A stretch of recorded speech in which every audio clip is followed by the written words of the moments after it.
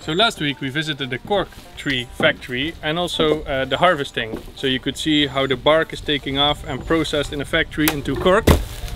And we actually used to have three big cork trees on the land ourselves. This one right here, uh, still standing near the bottom yoga deck. This is the only one that didn't burn down. And we used to have two other ones. And here's another cork tree underneath my feet. I'm walking on it right now uh, because it collapsed a few months ago makes you realize how big these things are, that you can just really walk on top of them. Um, but here you can see actually how it went. So it got hit by a fire, uh, burned, but kept being alive. But then some windy day, eventually the whole thing did crack and collapse. Which is a shame because it was a very beautiful tree close to base camp. And the third cork tree was actually located right here, but there isn't a tree anymore because we actually used it and this tree uh, also was burned down, fell on the neighbor land, he dumped it on our land so we could use it. Um, but it was there just rotting away. So last winter we started to process it. So in this video I'm going to show you what we did with it, all the cool things we made. And we're actually also going to bake some bread in our clay made pizza oven. So yeah, welcome to a new Project Kamp update. Let's rewind. So the tree has actually already been here for a while and with winter coming it slowly starts to rot away even more. Um, so it's a good time to chop it. So we're gonna make some little stools and a little table out of it hopefully. And we could actually borrow Jan chainsaw which is super long so we can really cut through the thick parts. So let's start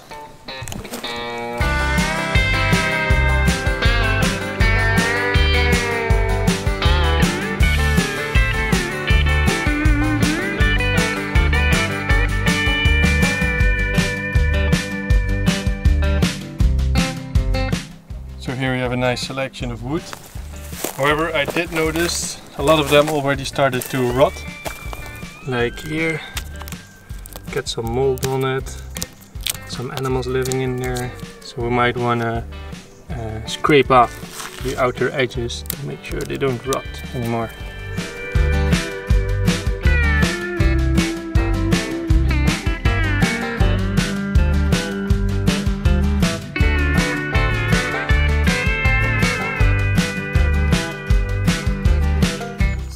The biggest part of the tree and it's quite big. Like even this big chainsaw as you can see it won't reach all the way.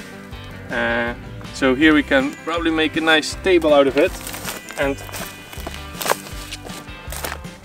these two parts they might look smaller but they also come together here creating probably the biggest piece of it all. So uh, yeah let's see if we can chop them down with that small chainsaw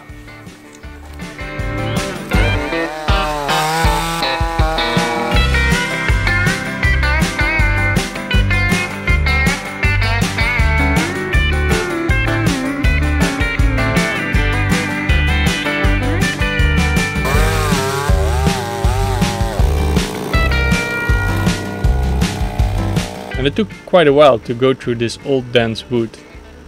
But we managed to cut out a few good pieces. It's a rough cut and still needs some cleanup, but lifting them up is impossible, way too heavy. So when our neighbor drove by with his front loader on his tractor, we asked for some help. But they were actually also too heavy for lifting with his tractor, so we had another creative way.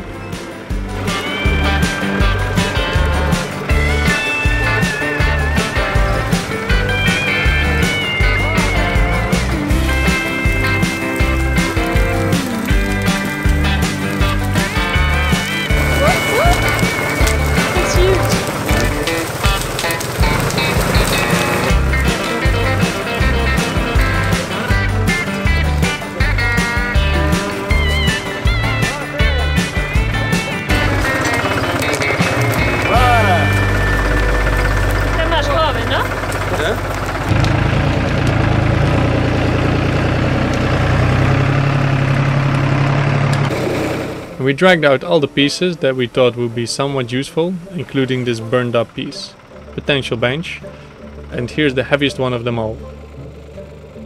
We wanted to put them up for a while so they could dry up from that wintry humidity they've been in.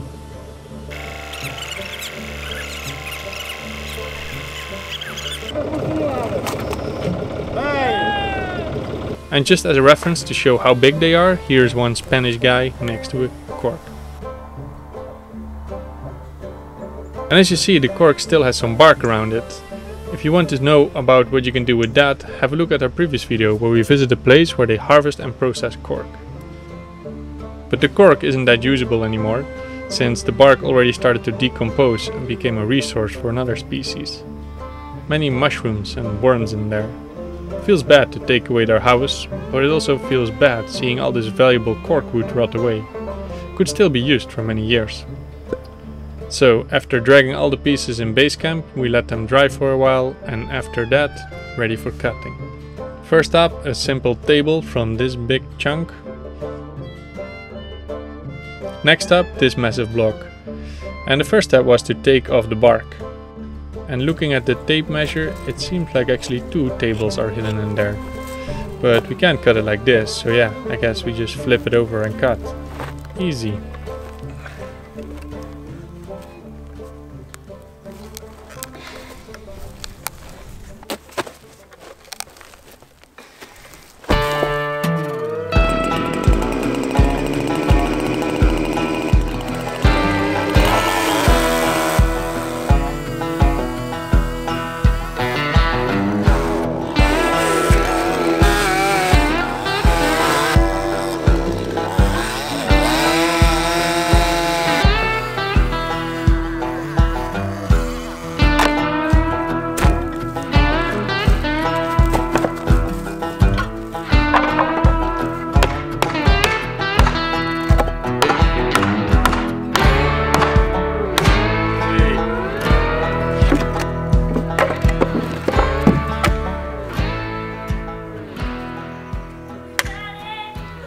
And finally this rough one, a bench, sort of. Well, with a few simple cuts, it could probably be very useful.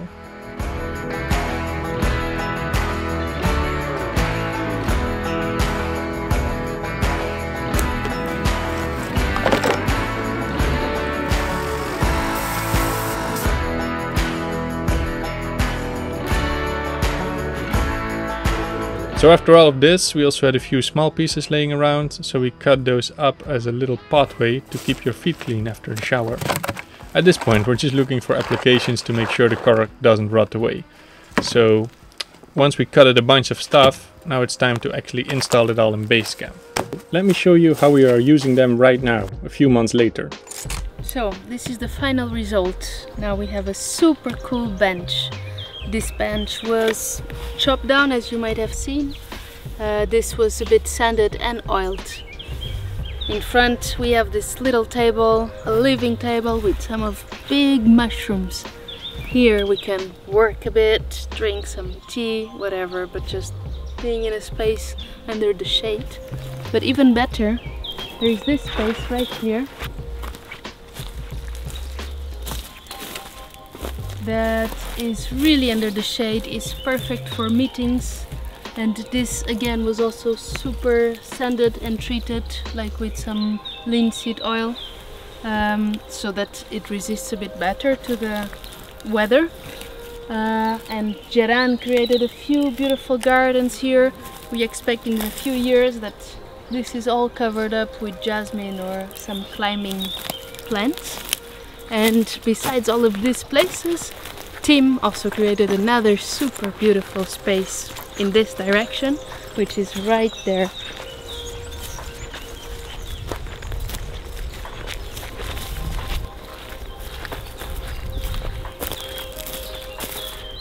So you guys might not really feel, but the temperature is super different.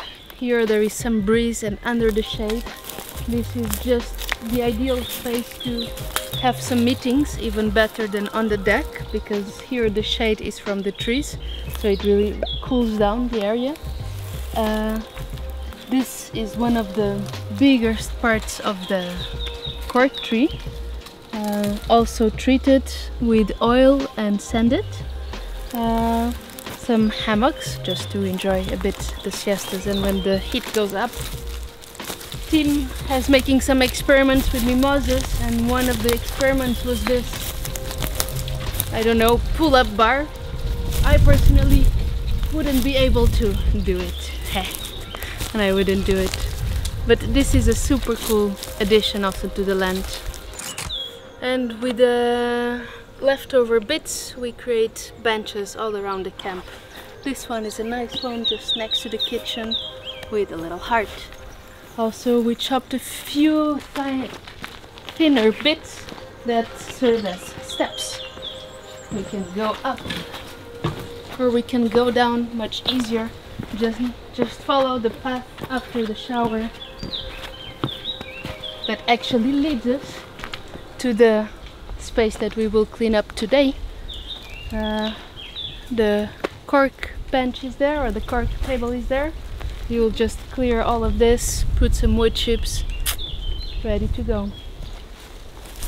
So this section will be made by Colleen and I. Colleen just arrived. She's a great addition to the team. Hello, I'm Colleen and I'm here for uh, two months and today we're cutting some bushes and uh, removing some uh, nasty spikes. Yes, Let's we go. are.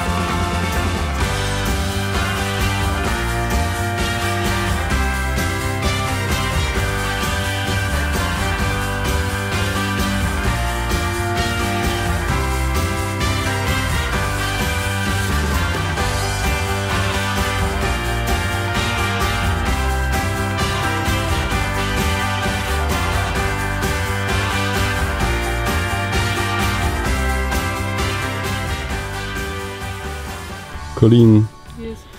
what we are doing now? So we cleared out the area, so that means that the soil is very exposed now because we took out of the soil and brambles. So we're gonna put wood chips in it and it will allow the soil to be more conserved, to not be too much in the heat and also to have a comfortable mattress for our little feet when we're re- resting. Oh yeah. All good?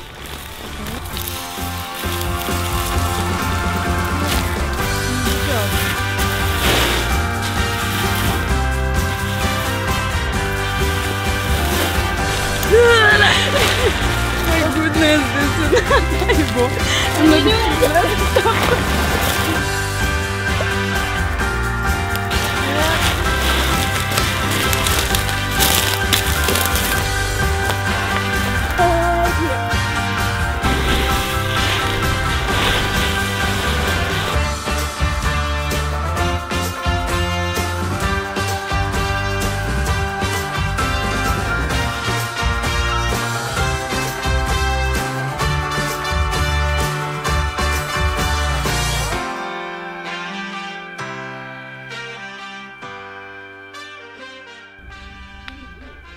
So the space is done. It's super cool now. This will be very shaded during the day. Will be super nice to hang out here. Uh, now we took brambles away and we replaced it with wood chips, so much better for the feet. Uh, We also took out a lot of big wood, big mimosa, and they're at the moment stuck on a big pile. This pile is gonna get chopped in pieces and put under the oven. So then, when we're gonna do the bread, we're gonna use those wood. So now we are off because we're gonna watch a movie without you. so Yes, we, we should are. go. Bye bye. bye.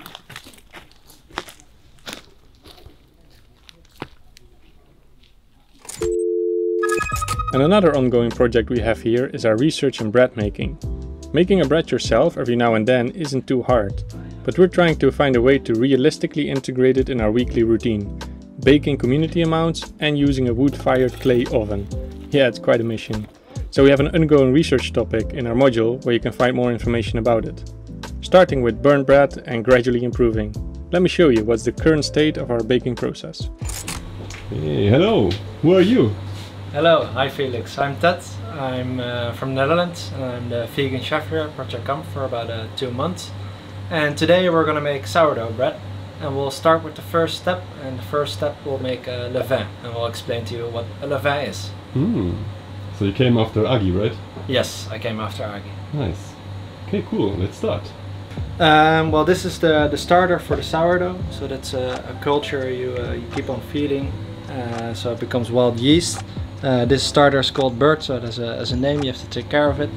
Um, and we're gonna take two scoops of the starter uh, and we're gonna mix it with equal parts of flour and water to make the levain, which will be the, the kickstarter for making the sourdough bread. So that's gonna make sure the sourdough bread is actually gonna ferment and, uh, and leaven. So it doesn't go super precise, but we take about two scoops of sourdough starter. We measure the amount of flour because we want uh, equal parts of flour and, and water. Uh, so it's going to be 100% hydration in your levain. And then after that you're going to play with hydration in your dough, but in levain you want 100% hydration. So equal parts water and flour. Mm-hmm.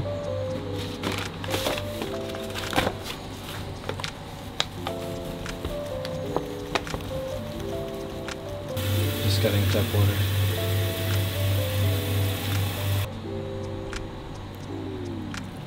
How long are you gonna wait till you make the dough out of it? Um, so we're gonna let this sit overnight. Um, so it's gonna ferment all the way. It's gonna double in size. Uh, so it's gonna gonna rise uh, and ferment all night. And then tomorrow morning we uh, we can use it.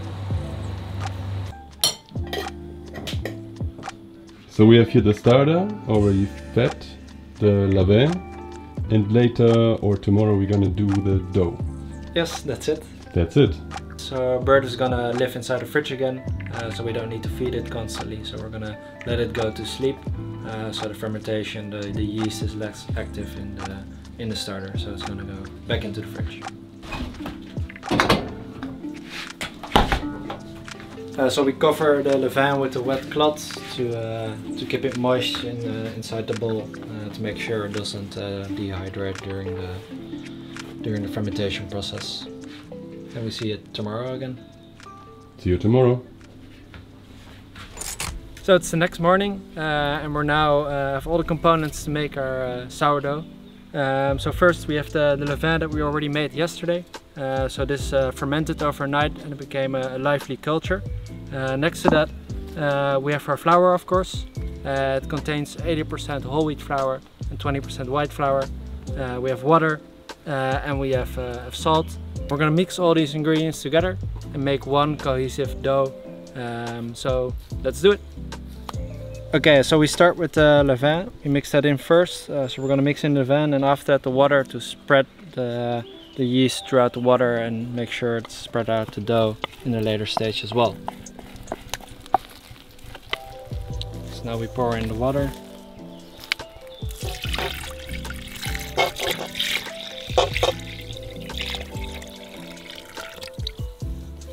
Give it a good stir so that the levain mixes in with the water. So we can mix in the flour and salt.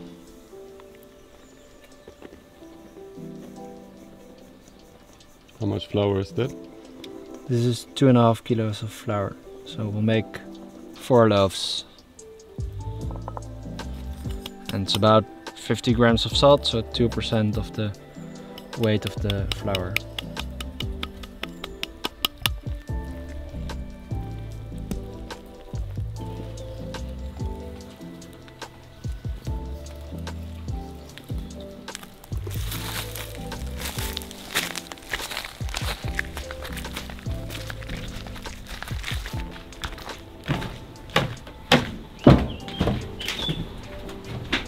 How long it's gonna rest? Um, it's gonna it's gonna rest for four hours. But yeah, I mean normally I would, I would say six to eight hours, but now I think four to five hours with these temperatures because it's 30 degrees plus here. So I would say four to five hours.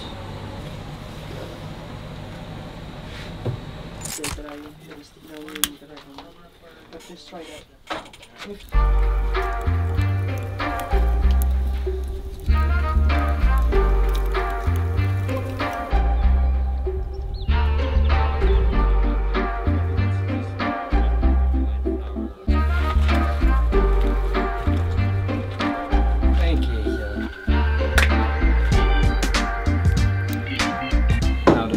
risen, so it's like fluffy. You can push it a little bit and it bounces back. So we know it's ready.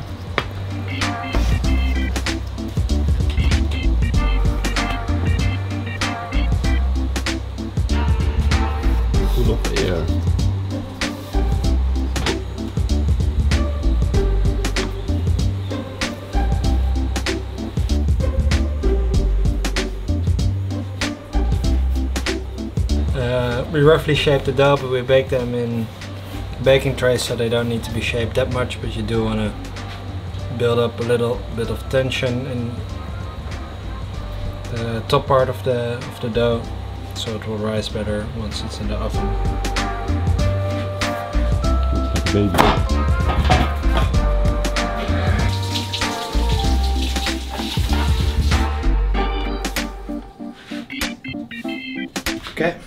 Ready to be baked.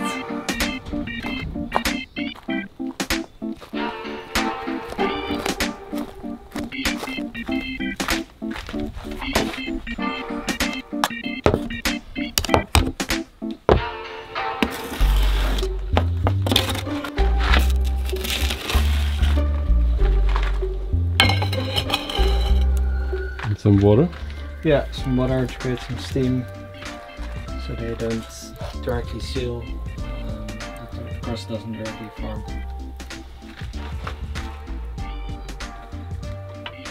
How long do they bake? Uh, they bake about 45 minutes uh, normally, but th- with this oven it's always a little bit, yeah, you have to see a little bit and see how they develop, take them out, see whether they're good. So 45 minutes at least I would say, but maybe up to an hour.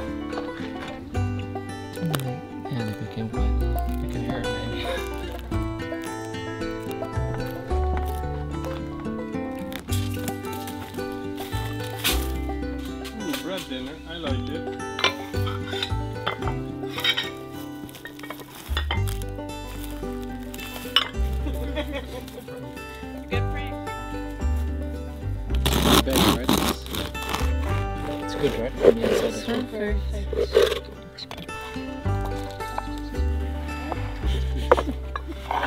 Sur la- Alright, so that was it for this video.